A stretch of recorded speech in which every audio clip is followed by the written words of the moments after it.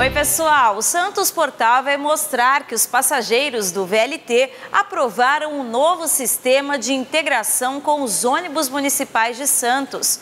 O assunto agora é reciclagem de lixo. O programa Santos Cidade Sustentável traz mais algumas dicas para você separar e destinar o lixo corretamente.